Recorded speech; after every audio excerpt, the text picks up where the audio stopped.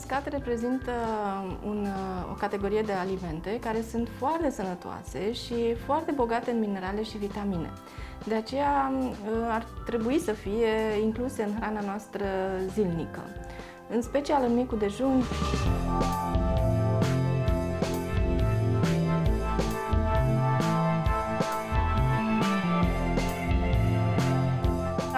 Fructe deshidratate care se vând uh, foarte bine în sezonul rece. Ghimbirul este un fruct de iarnă, este foarte bun în tratarea răcelilor. Stafidele, mere deshidratate, uh, fructe de papaya fără zahăr. În general, fructele deshidratate sunt consumate pentru cei cu diabet, pentru că nu au adăugs de zahăr. Smochinele iar sunt foarte consumate. Care ar fi cele mai indicate pentru sistemul digestiv? Dintre fructele uscate sunt uh, foarte bune.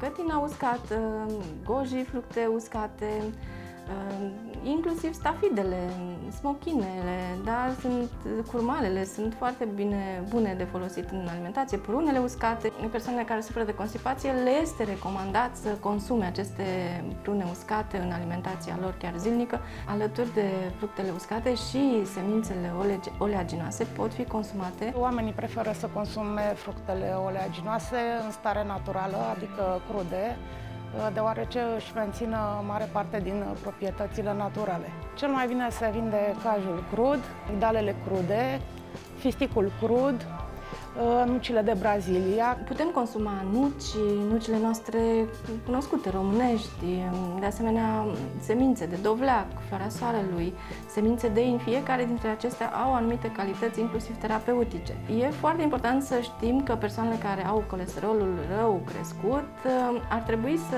schimbe în alimentație, spre exemplu, carnea și lactatele cu aceste suplimente de semințe oleaginoase, întrucât ele conțin acizi grași, uh, foarte favorabil sănătății și nu cresc colesterolul rău.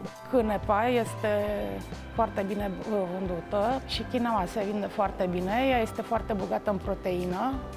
Avem uh, trei sortimente de quinoa, albă, neagră și roșie.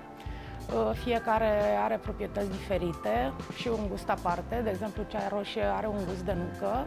Putem menționa, spre exemplu, semințele de dovleac. Sunt foarte bune în cazul uh, paraziților intestinali. Uh, inclusiv la copii se pot da sub formă de pulbere, dar și la adulți, mai ales în cazul bărbaților. Au efecte foarte bune asupra prostatei.